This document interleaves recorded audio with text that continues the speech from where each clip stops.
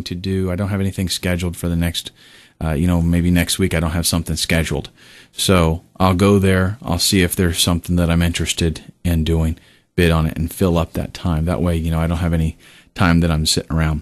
So finding the clients is easy. There's a whole lot of work that needs to be done, so that's not a problem. One tricky part is knowing what to bid. The reason this is so tricky is because you don't want to underbid yourself and you don't want to overbid yourself. You've also got clients that, uh, you know, and I'll tell you here right up front, just give you kind of a warning. You will deal with clients that don't want to pay what it's actually worth.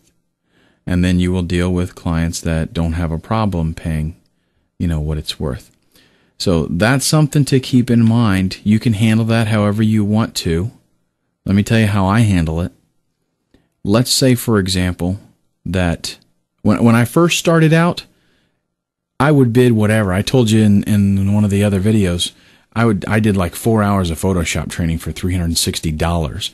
Well, the man that I did that training for, he felt so bad, I think, because I did such a good job and I put so much into it.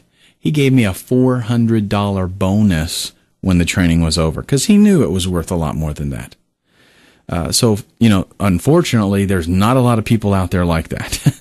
so, what you're going to find is that at the beginning, you're going you're going to be tempted. If you don't have any experience, you're going to be tempted to bid really low, no matter what.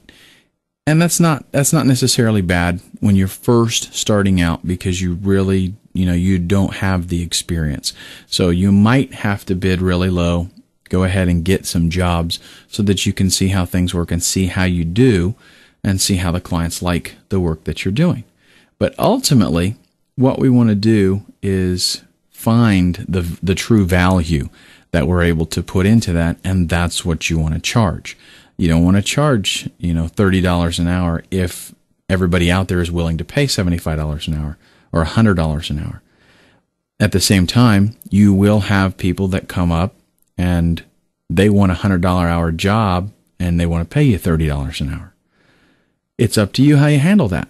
I used to go ahead and be very flexible and do whatever they wanted because I was desperate. I wanted to get into this so bad. I wanted to do it because I loved it and I didn't have a lot of clients. Plus, I didn't know how to communicate with people really uh, and, and let them know that I know what it's worth without, you know, just coming out and saying that. But what I do now uh, is I am flexible. You have to be a little bit